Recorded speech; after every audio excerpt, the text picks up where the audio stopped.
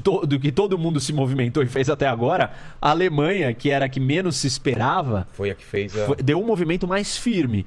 Agora cabe aos Estados Unidos e o resto da Europa mandar uma mensagem muito clara, coesa e unida de que isso não, vai não pode prosperar e não vai tolerar. A pergunta é, o que, que eles podem fazer É. se eles não vão fazer nada militar? A única coisa que eles podem fazer é sanções mais severas.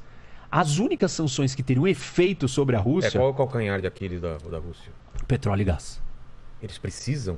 Não, Ou é- eles a têm? Rússia precisa vender. Ah, precisa vender. E eles criarem um embargo à compra de petróleo e gás da Rússia.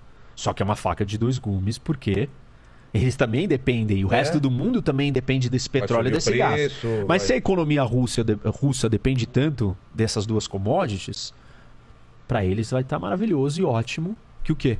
Que aumente o preço. Isso. Eles estão felizes da vida.